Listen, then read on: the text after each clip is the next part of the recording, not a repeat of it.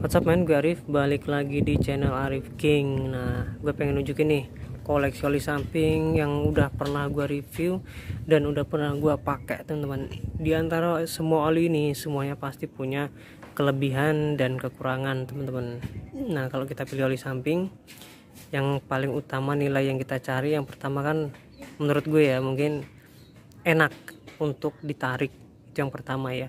Yang kedua mungkin untuk asap ada beberapa yang asap dan yang ketiga mungkin untuk kerak mesin. Gitu ya teman-teman.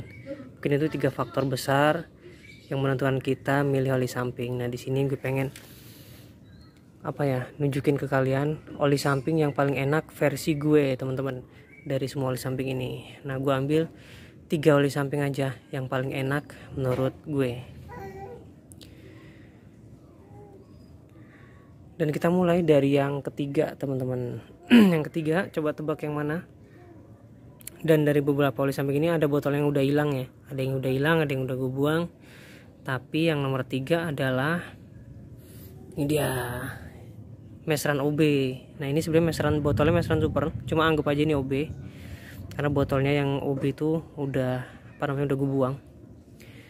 Nah ini mesran OB yang paling enak nomor tiga teman-teman ini juga oli samping yang paling banyak gue pakai yang kedua teman-teman. Karena yang paling pertama itu gue pakai Hidemitsu setahun dan ini udah lebih dari lima bulan sekitar 9 bulanan gue pakai.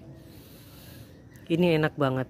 Untuk jarak deket enak buat touring enak buat di betot-betot juga enak gitu.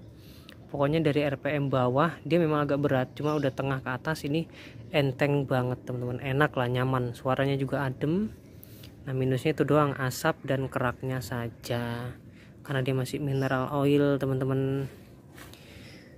Flashpointnya pun tinggi datasheetnya juga lengkap. Harganya pun murah cuma 34.000 teman-teman.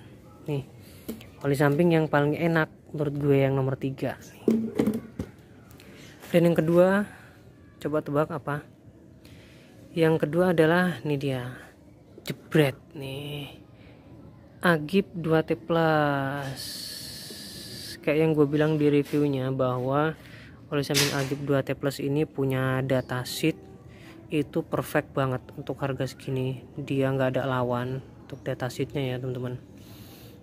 Tapi pemakaiannya ya nggak seperti itu karena pastikan dia ada penurunan performa ya karena nih oli jadul mungkin dulu pas zaman dia masih baru gue yakin pasti performanya juga jos gandos. Karena setelah sekian tahun juga dia masih luar biasa enak teman-teman. Ini RPM bawahnya enak tengah enak atas enak dan juga keraknya tipis. Asapnya juga tergolong sedikit ya ada cuma sedikit. Gitu teman-teman. Ini yang kedua yang paling enak menurut gue. Harganya 55.000 gitu. Dan yang paling enak yang pertama coba tebak yang mana. Ceng ceng ya udah jelas yang inilah ya kan. Karena yang tiga itu gua taruh di depan semua. Ini dia. Ini yang paling enak menurut gue teman-teman tapi sebelumnya mohon maaf ya teman-teman ini kotor. Karena ini banyak minyaknya dan gua taruh di bawah. Dan terutama untuk orange ini teman-teman menurut gue yang paling perfect walaupun dia nggak ada data sheetnya tapi gue sangat menghormati dia karena yang pertama dia oli lokal. Karena dia lokal produksinya itu relatif lebih banyak dan lebih murah teman-teman. Karena speknya juga sudah tinggi. Kayak misalnya dia sudah full sintetik nah dan isinya juga udah 800 mili eh 700 ya 700 mili.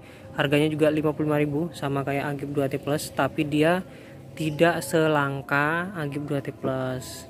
Ini banyak banget kalau kalian nyari di online shop. Cuma di bengkel masih jarang kayaknya deh ini tarikan dari bawah sampai atas itu stabil banget dan untuk temperatur juga dia relatif nggak terpengaruh sama sekali teman-teman. Mau mesinnya dingin mau mesinnya hangat mau mesinnya panas dia tetap konsisten mempertahankan performanya teman-teman. Dan lagi keraknya juga tipis tergolong tipis dan juga asapnya juga tergolong tipis walaupun ada.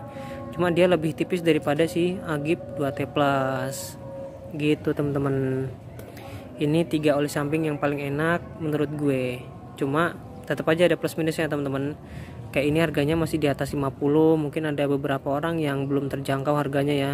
Apalagi buat harian ini 55.000 menurut gue masih cukup mahal teman-teman tapi ya di kalau dibandingkan dengan spek dan apa yang kita dapat ini masih sangat worth it teman-teman dan kalau mesran ini baru nih merakyat banget teman-teman karena dia murah dan juga tarikannya itu jos gandos teman-teman dan yang lebih enak lagi dia gampang dicari lo nggak perlu beli di online shop nunggu beberapa hari baru dateng lo tinggal ke bengkel nyari bang beli mesran OB itu udah hampir dipastikan ada teman-teman gitu ya Nah, gimana menurut pendapat kalian? Apakah setuju apakah enggak? Tulis di kolom komentar dan thanks for watching dan sampai jumpa di video selanjutnya.